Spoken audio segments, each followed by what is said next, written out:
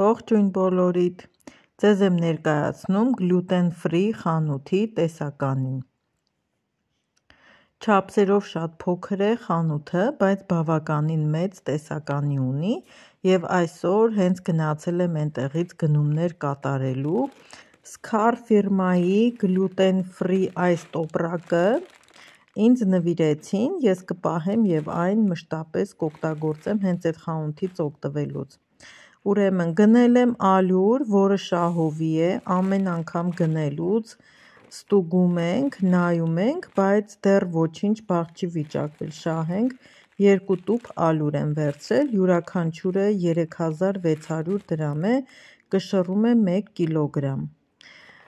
1 տուփ զսպանակաձև մակարոն եմ վերցրել, որը կես կիլոգրամ է, արժե 1000 դրամ։ Սպագետի եմ վերցրել, որը նույնպես 1000 դրամ արժե։ Այստեղ վերցրել եմ տուփով սուրճ, կաթնային սուրճ, որի մեջ 10 հատ է եւ 900 դրամ արժեր։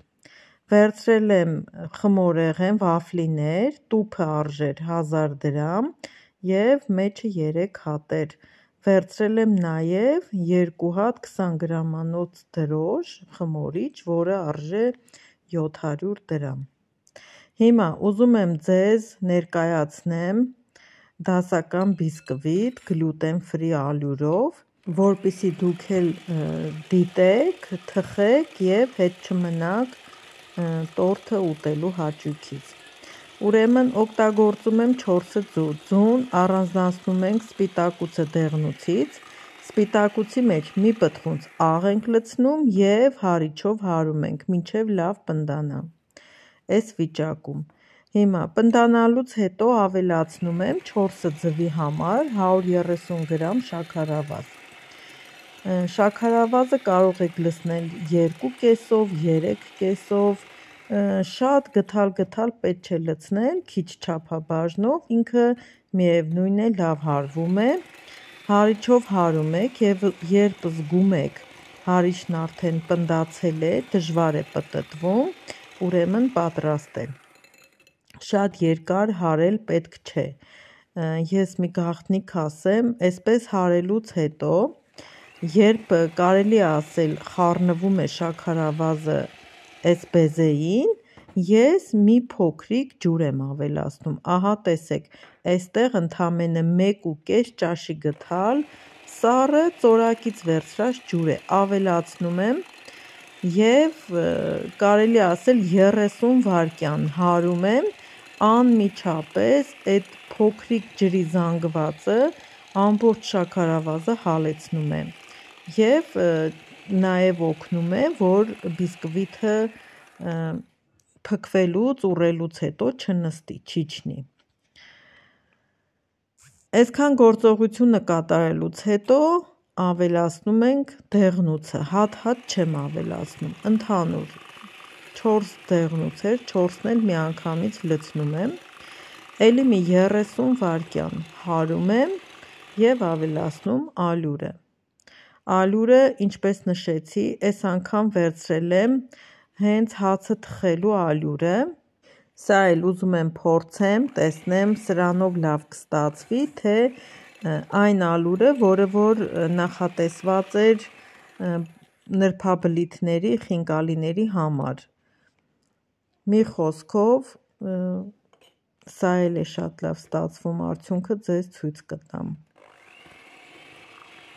Ինչպես տեսնում եք, ալյուրը 1-2 ճաշի գթալի չափով եմ ավելացնում, այստեղ օգտագործում եմ 80 գրամ ալյուր։ Բնականաբար բոլոր օգտագործվող մթերքների չափաբաժինները տեսանյութի ներքևում կգրեմ, որպիսի սեղմեք եւ շատ հեշտությամբ գտնեք բաղադրատոմսը եւ տեսնում եք նաեւ, որ հարիչով եմ հարում հարիչով հարված այս բիսկվիթը դասական ես շատ եմ սիրում։ Կտրելուց հետո ծակոտիները շատ համաչափ են լինում, շատ փափուկ է ստացվում եւ խմորը չի իջնում, որովհետեւ ալյուրը ինքը հարիչը հենց խտացված է հարում, ոչ թե ձեռքով հարում ենք տակից վրա, թեթև մի տեսակ օդի նման զանգված է լինում, հետո երբ թխում ենք, հանում ենք, եւ ձայնով ենք զգում եւ տեսքով, որ բիսկվիթը որոշ չափով իջնում է։ Իսկ այս տարբերակով, երբ ես հարիչով եմ հարում, տարբերությունը զգացել եմ շատ վաղուց եւ արդեն այս ձև էլ հենց շարունակում եմ։ Շատ լավ է ստացվում։ Ուրեմն թորնիկս, Գևորիկս առաջին դասարան էր այցելելու եւ իր համար այսպիսի մի փոքրիկ տորթիկ եմ թխել շատ արագի մեջ իմիջայլոց ասեմ, որովհետև մի երկու օր առաջ էլ իր փոքր եղբոր Նարեկիս 1 ամյակն էր, նորից տորթիկը ես էի թխել եւ ամուսինս ամեն րոպե ասում էր բա ինչ կանեք ձեր համար տորթ եք թխում ուտում ու չեք մտածում որ ես էլ եմ տորթ ուզում մի խոսքով սրտիս դարդեր եղել ու որոշեցի որ անպայման իր համար տորթ պետք է թխեմ ուրեմն գիշերվա ժամը 2:30 է Գևորգիս տորթը թխեցի վերջացրեցի հետևից արդեն շարունակել եմ իր տորթի պատրաստման ընթացքը թխել եմ իր այս մի հատ բիսկվիթը որպիսի կտրեմ դնեմ իրար վրա ինչ չափի որ կստացվի կստացվի հազիվ էլ մի 2-3 օրում ուտի դրանից ավել չարժե պահել որովհետև կհնանա մի խոսքով ինձ պետք էր որ փոքրիկ տորթիկ լիներ բայց նշեմ որ այս տորթիկն էլ հենց օգոստոսի 31-ին մեր ամուսնության համատեղ կյանքի 32 տարին լրացավ, որ միասին, միասին ենք ապրում եւ ես ինքս իրեն նվեր արեցի, ասեցի քեզ համար տորթ եմ թխել, գործից տուն եկավ, շնորհավորեց, մինչև էդ էինք շնորհավորել միմյանց, մի խոսքով տուն եկավ եւ անակնկալ արեցի, ասի տորթել ունենք, կարող ենք նաեւ մոմ դնել վրան փչել եւ ինչի՞ չէ դու կտրես ու դու էլ վայելես եւ չմտածես որ քեզ համար ինչ որ բաներ արգելված են պետք է քեզ զգաս լիարժեք մարդ երբեք քեզ հիվանդ չզգաս մի խոսքով ինչպես տեսակ բիսկվիթը բաժանեցի 4 մասի ընկանք խոսալով մոռացա մեկնաբանեմ